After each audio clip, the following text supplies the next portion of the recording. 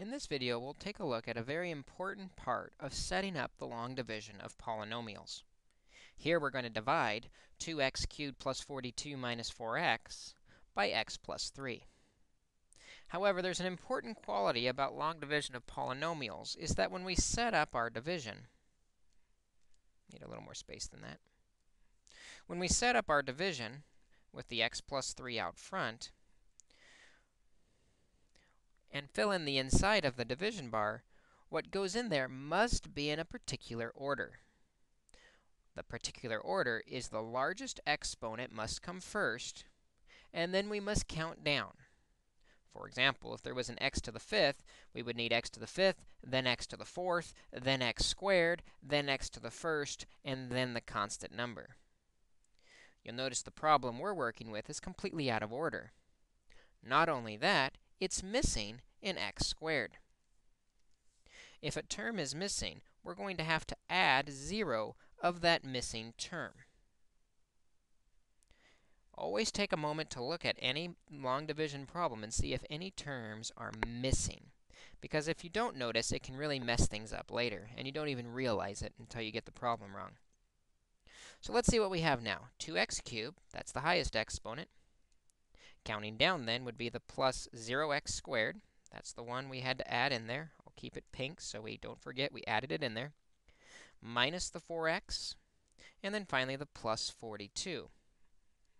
Now notice the exponents count down. 3, 2, 1, 0. As we set up our long division, every problem must be set up like this. Once it's set up, the long division works like any other problem. We'll divide the front terms. 2x cubed divided by x is going to be 2x squared. We'll put that in for our quotient. And then we'll simply distribute the 2x squared to get 2x cubed plus 6x squared.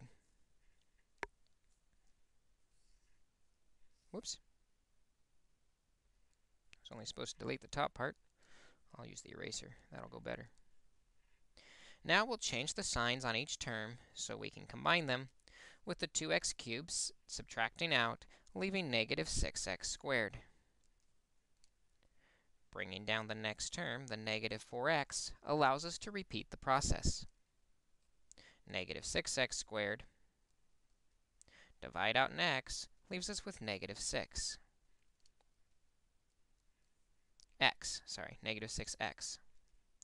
Again, we'll distribute the negative 6x through, and as we do, we get negative 6x squared and negative 18x. Again, we change the sign on both terms, making them both positive this time, so that the negative 6x squared subtracts out with the positive 6x squared. When we do, we're left with 14x plus 42. Finally, we can divide that 14x by x. And when we do, we're just left with the positive 14. Distributing that positive 14 through gives us 14x plus 42.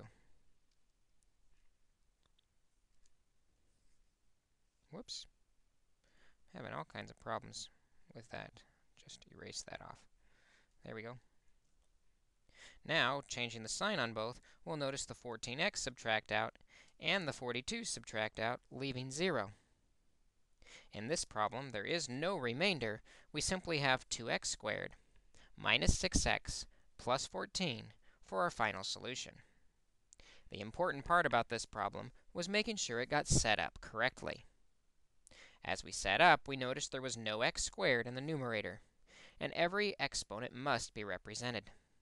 We also noticed things were very much out of order, and so we had to put them in order counting down from the highest exponent, 3, 2, 1, 0, to be sure we arrived at the correct final solution.